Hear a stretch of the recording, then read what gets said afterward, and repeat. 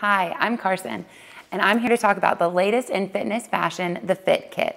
This bag works all day from work to the gym. It's made of our coated cotton material so it wipes clean and it's water resistant.